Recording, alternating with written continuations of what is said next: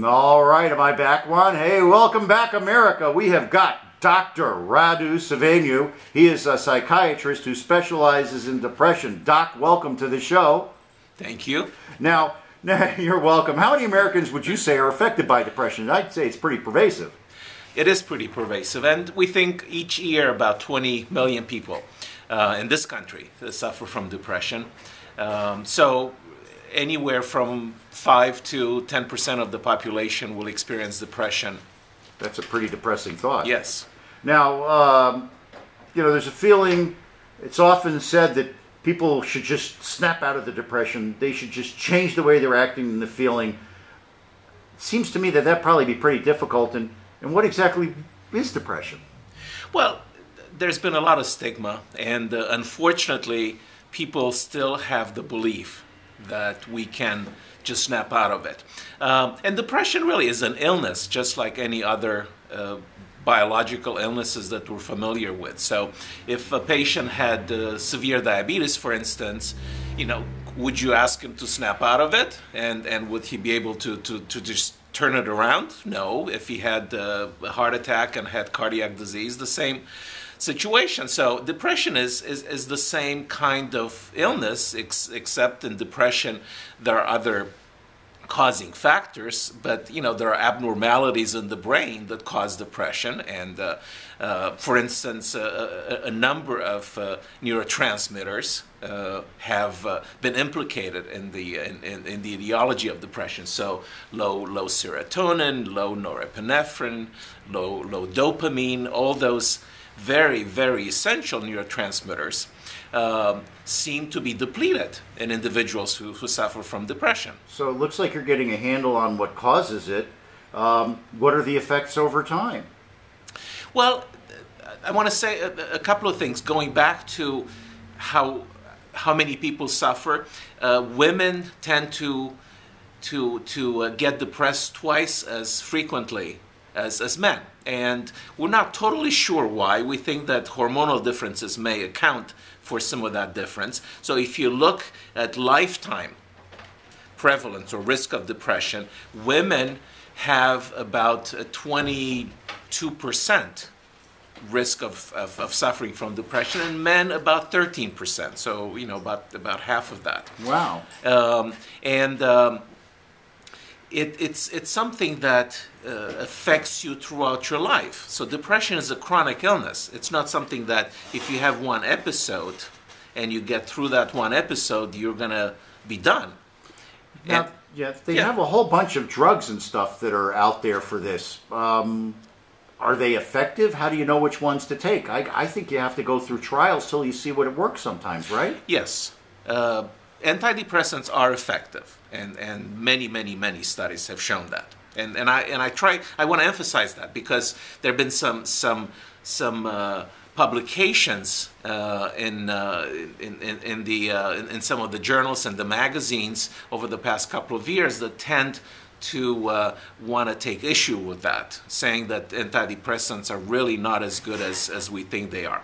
Now, the issue is that we are still at the beginning of understanding how we treat depression. We have a bunch of antidepressants, they do work, but only about 60% of people who go on an antidepressant are actually going to have a good response. Hmm. So many, many times we try one antidepressant, then we try a second one, maybe a third one. Sometimes we try combinations of medications, and you know people shouldn't be afraid of that. That that is.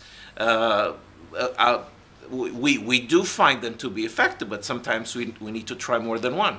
Well, how does somebody know or identify the signs of depression? We had one guy email earlier, mm-hmm. his wife sleeps a lot when she's not eating a lot or watching TV. Sounds like she might have a problem. Right. Well, depression is characterized by a number of symptoms. And if the more of those symptoms you have, the more likely it is that you have clinical depression. Now, some of the symptoms include changes in, in appetite. So some, some individuals gain weight and eat more. More commonly is to lose one's appetite and to lose weight. Uh, another important change is uh, sleep. And generally, people have trouble sleeping when they get depressed, although we see the opposite effect as well. There are depressed patients I've seen who sleep you know, 14, 16 hours a day. Uh, another Im- very important symptom is, is uh, fatigue. People feel tired the whole time. They, they can't do the things that they want to do because they're, they're exhausted. Well, that's horrible. Um, and and there, there are a couple of others I want to mention. Please, Uh, because I'm sure this has big impact on families. Absolutely. And you know, for instance, lack of interest and lack of motivation is, is another big symptom of depression, and that's going to have an impact on the whole family. Boy, And- you're talking about a person I know. well, not me, not I- me, not I- me, not I- me. I think we all know. Of course, Lots of individuals. Of course, of course. Um, and and you know another important symptom is uh, losing losing pleasure in activities that used to be pleasurable. So an individual who's who's depressed stops doing things that they used to do and they used to like doing because they, they're not enjoyable anymore. So you know if you play golf, for instance, people if you if you get depressed you're going to stop playing golf or if you like uh, to go to restaurants or movies etc so that's one that's one way to identify somebody who who is depressed Wow, that's a great, uh, great, uh, a great rule of thumb and a great uh, kind of way for you to look at people. Now, now we've talked about some of the treatment options that mm-hmm. are available. What would be the first step in seeking help? well lots of people go to their primary care physician and they start there and in fact you know probably 60% of all individuals who suffer from depression or anxiety go see their primary care physician first. And, uh, and there's nothing wrong with that because you know they feel comfortable, they see that individual frequently, etc. So that's one way. Another way is to call either the University of Miami Department of Psychiatry, um, and and we have a very uh, very large outpatient clinic where we treat lots of individuals with, with depression and anxiety. But the important thing is to reach out, uh, and at least 50% of depressed people don't seek help. So at least 50%. Well, yeah, they're, they're depressed. well, they're depressed, and they also have the same belief that you know tomorrow They'll they'll, pull themselves of it. exactly, Yeah, exactly. Oh God, I feel bad for those people. Now, now in, in terms of in terms of treatment, you know, Yes. we, we have medications, but we also have psychotherapy, counseling, which is just as effective in treating depression, especially for milder forms of depression. So people who may be unwilling to, to go on medication, for instance, they can get help through counseling or psychotherapy. putting things in perspective. so Absolutely. speak. Now, I know that you're doing some really interesting research. We were talking about it in the green room. Can you share Mm-hmm. a little bit of that with us before we have to go? Sure. Um, we're currently uh, involved in a very, very interesting uh, international study for depression, and it involves five countries and, and, and 20 sites worldwide.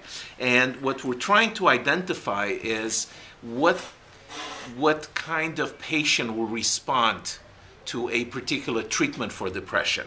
So, you know, we're, we're enrolling patients with depression, and part of the study, we, we do EEG studies, so brainwave studies, we, we do neuropsychological uh, testing, we do genetic uh, uh, testing, and uh, we're, we're hoping that the results of this study will give us some specific answers as to what patient, for instance, will respond to antidepressant A versus antidepressant B. You know, what patient may need a combination medi- uh, of, of medications, et cetera, et cetera. Now, I know that when I hurt my back, I started to get some of the symptoms you were talking about. And I found that having somebody to speak to was very important and really helped me get through the rehab, mm-hmm. the pain management. It taught me how to do that. Is that something you guys can do at UHealth? Absolutely, and that's that's what a lot of what we do. Because anybody who has a, a medical condition, especially if it's a chronic medical condition, loses perspective, and, and need some, some help, need somebody to help them put things back in perspective. So especially chronic pain is a good example because when you're, when you're having a lot of pain, you forget what it was like last year or, or two years ago. You forget that you felt better. You forget that you, You don't think you ever will feel better again. Exactly, exactly. So you have to get some help to put things in perspective. Now, I'll bet you that depression helps is sort of an additive or a amplifying factor to some other diseases. How about something that's pervasive in America today that's got to do with overeating?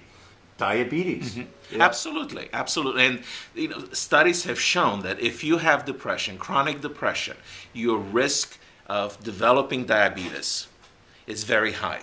It's twice that of the normal population. Wow. And and the, the, the same with having chronic depression leading to twice the risk to have a stroke later on in life. Well, that Or- I could understand. or, or develop uh, uh, cardiac disease. And, Oh, and, yeah. and, and, and another interesting uh, something to, to, to think about is pa- people who have a heart attack, if they develop depression after the heart attack and it's not treated, they have a fourfold risk of dying within a year compared to in, individuals who had the same heart attack but did not suffer from depression. So you can see how incredibly pervasive and dangerous. Oh, I've had experience So- with that. I've had experience with that. I have one friend of mine that I that that, that had that type of a problem, and I Mm-hmm. keep in touch with him. We we call it uh, one character at a time. Every day Uh-huh. I text him one character, he texts me back, and that's the way we stay in touch. Staying connected is really the most important part. Oh, well, Doctor, thank you so much. We have Dr. Uh, Radu Saveanu. Thank you so much for coming and talking about depression. Uh, if people want to find you and want to talk about depression, how do they do that, Doc? Well, uh, our uh, our our clinic I can give you the phone numbers. Perfect. 305 243 0124 and uh, be happy to help uh, as many people as we can. Can you do that again? I'm a Florida Gator. I need Yeah. you to read slower for the Ohio State fans. 305 243 0124. that was just for you, Doc. He's an Ohio State fan. I had to give him the business. Thank you, Dr. Radu Saveanu. He was absolutely terrific. I hope that if you or anybody you know has depression, that you go on our website and listen to this show when we put it up. Absolutely top of the line. Thank you so much, Radu Saveanu from University of Miami uh, Health System. We call them U Health on the show. We'll be right back after this short break with a little Ollie Green. Thank you.